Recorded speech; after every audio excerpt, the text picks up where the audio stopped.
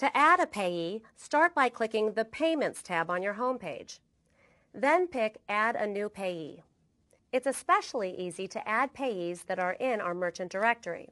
For example, to add a credit card company, choose Credit Card, then your card type from the pull-down menu. Enter the account number and click Next. If your credit card company is in our merchant directory, and most are, their information appears automatically. Click Next to confirm your entry, and this new payee will be added to your list.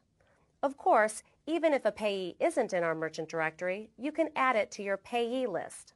Just click Next under Pay an Individual. Enter the information requested,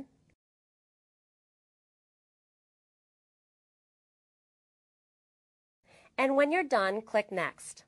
The new payee will then become part of your payee list too, ready and waiting for the next time you need to pay your bills.